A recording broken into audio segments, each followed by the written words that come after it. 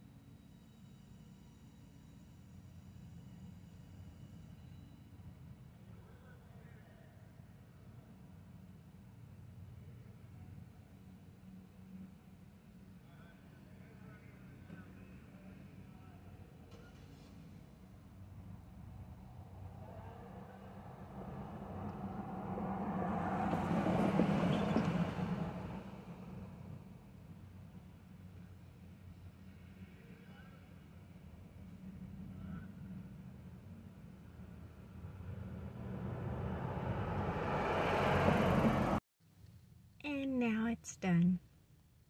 A day's work.